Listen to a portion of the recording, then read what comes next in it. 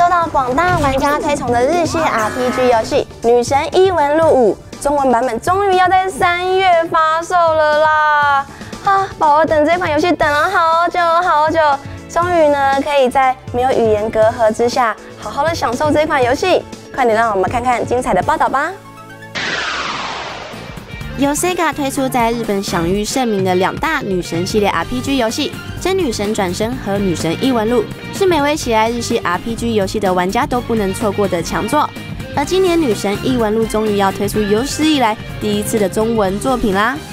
《女神异闻录》以现代的日本城市为舞台，玩家要扮演高校生主角，体验日常的校园生活，在与结交到的好友同伴组成怪盗团，调查在城市中流传的都市传说。甚至是超自然现象，进行一场紧张刺激的大冒险。